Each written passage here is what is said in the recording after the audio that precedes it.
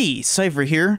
I'm putting this thing together quickly, hopefully not too late, but I hope this helps with the whole political mess that has happened with recent protests. You know, with the taking a knee during the singing of the national anthem. Heck, I don't care much about sports in general, but there is an interesting thing that is missing in the rhetoric surrounding all of this context. Something I don't hear is the history behind the protests in American sport, because this is by no means a new phenomenon. Now, these recent protests take place during the singing of the Star Spangled Banner, or the national anthem, uh, whatever you want to call it, during the beginning of football games. So we might as well start with where that tradition came from. The first time that the national anthem was sang during the beginning of a game was actually in a baseball game in 1897. Though it wasn't quickly adopted, it was steadily, and had become somewhat of a tradition by the end of World War I. The first time I could find where protest was actually considered for political usage in American sports was in 1936, where the US actually contemplated boycotting the Olympics because of, well, the Nazis. The Olympics will come up again, but if you're interested in a more detailed analysis of that stuff, I actually made an episode a while back about Olympic history. But really, the time that protests started sneaking into American sports was during the 1960s. From 1964 onward, it was actually a regular sight to see fans not standing for the national anthem because of the Vietnam War. But those were fans, not players. But in 1965, a new component of this kind of protest came about. 21 players boycotted the American Football League's All Star game because of racism they had been facing in the place that the game was being played. Uh, one guy yelled out, You, you, you so and so and so's get off the street. John F. Kennedy is not playing in here tonight. Pulls out a gun. You are not coming in here and they decided just not to play if they were going to face that kind of racism. So by 1965, protests on behalf of race relations were already a facet of football. And That would spread to a whole bunch of other sports, including boxing.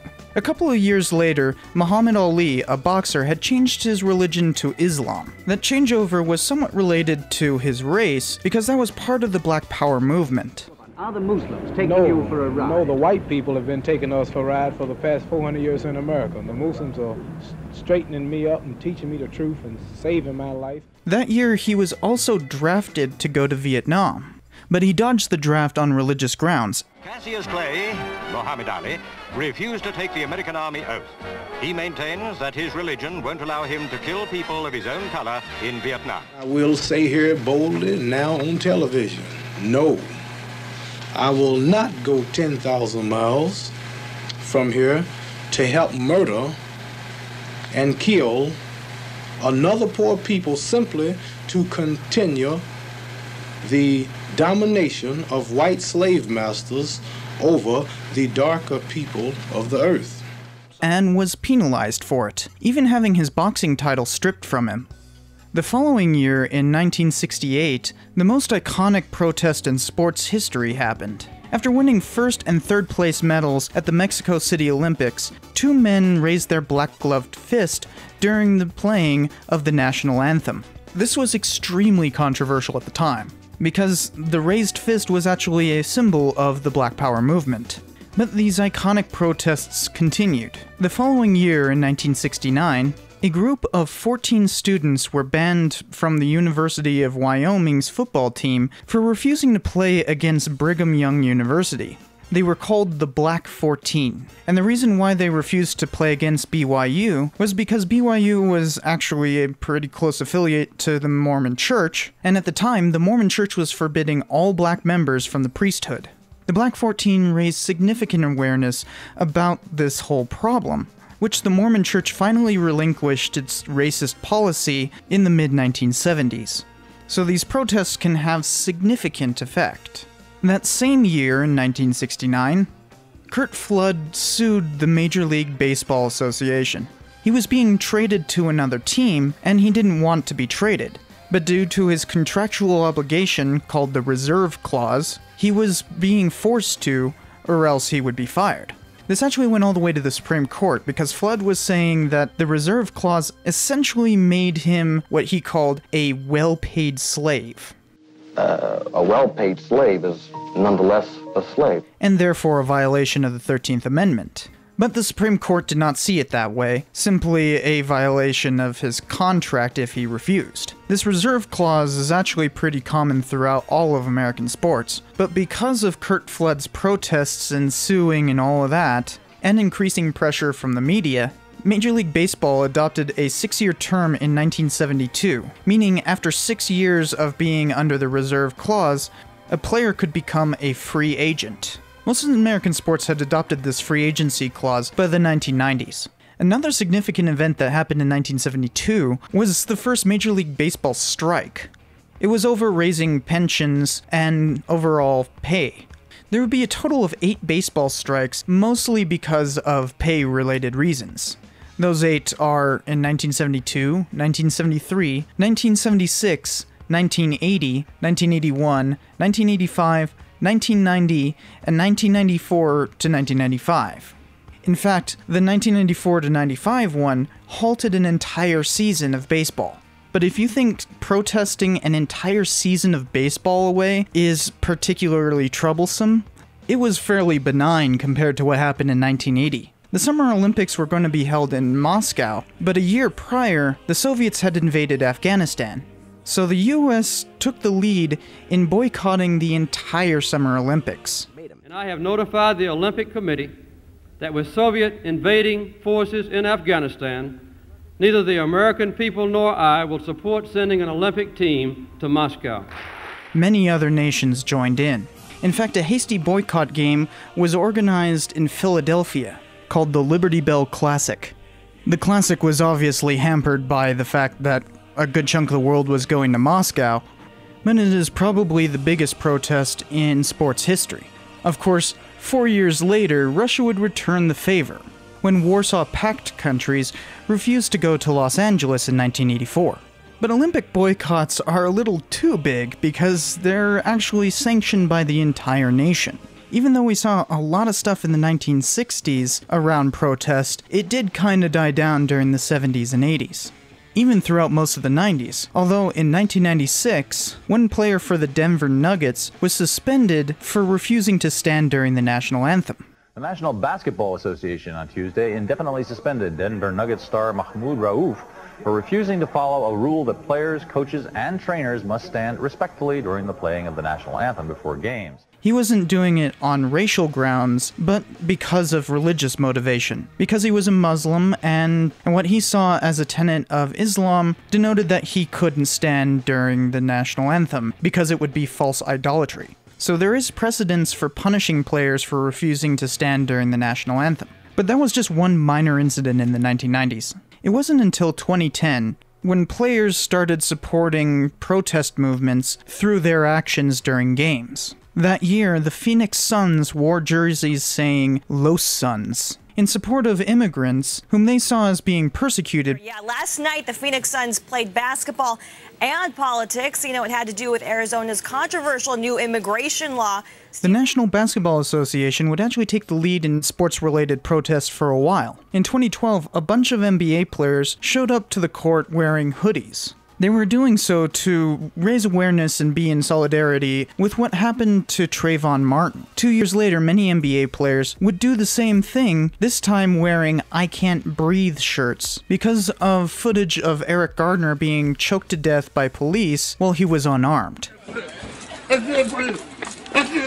Of course, what kicked all of these protests into overdrive was Ferguson, Missouri. That too was because of a police shooting of an unarmed suspect that is regularly interpreted to be racially motivated. This is where the entire national conversation about disproportionate police brutality against blacks came from, and is the origin of the Black Lives Matter movement.